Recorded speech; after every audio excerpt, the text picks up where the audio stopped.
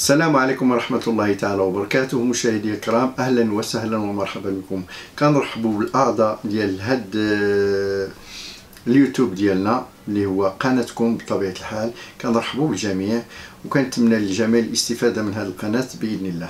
آه، اليوم غادي نقدم لكم خبز غادي نسميه خبز مالح بالطون أو كيكة مالحه بالطون. كيكة ما فيهاش السكر بطبيعة الحال كتجي يعني كيكة طب كتجي رائعه نتمنى منكم تشوفوها وتجربوها. غادي تعجبكم 100% ومرحبا بالجميع.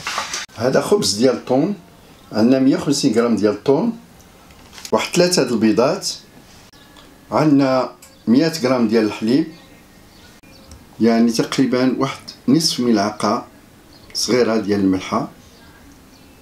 80 غرام ديال المطيشه مطحونة. 100 غرام ديال الفورس زائد 7 غرام ديال الخميرة واحد 100 غرام ديال الفرماج. درسنا ثلاثة البيضات درنا البيض بوحدو نطلعوه شوية يطلع شوية.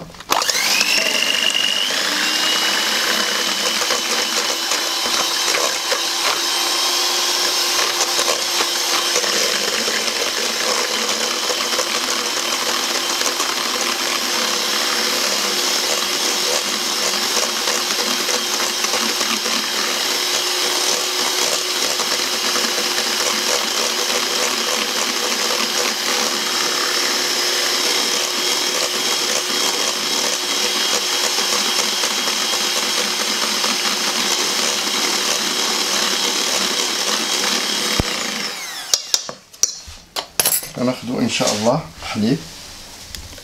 نضيفو ليه الحليب. ونضيفو ليه الملحة.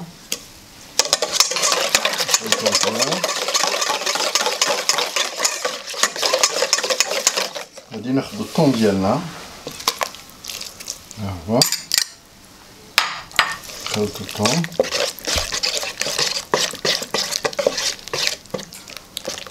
غادي نضيفو مطيشه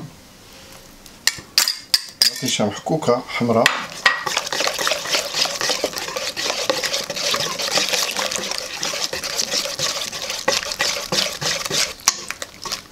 ونضيفو الفرماج بطبيعة الحال.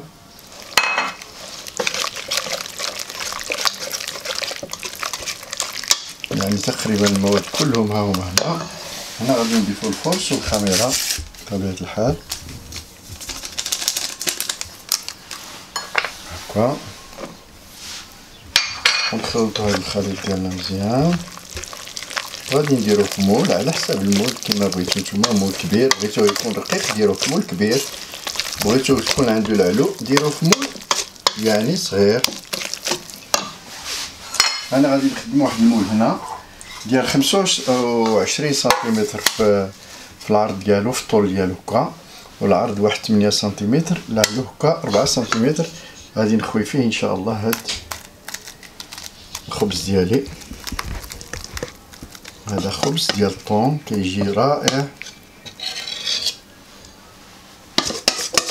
على شكل كيكة كيجي بحال الشكل ديال الكيكة. نقول خواني اخواتي هذه هي الكيكة أو الخبز ديالنا. المالح غادي نجربو نشوفو نقطعو واحد المورسو باش غير نشوفوها كي كتجي نتوما شوف كي كتجي كتجي هائله هائله يعني كيكه كلها طون كلها طون وكتجي رطبه بزاف بزاف بزاف. يعني خبز نسميو خبز نسميو كيك بحال بحال.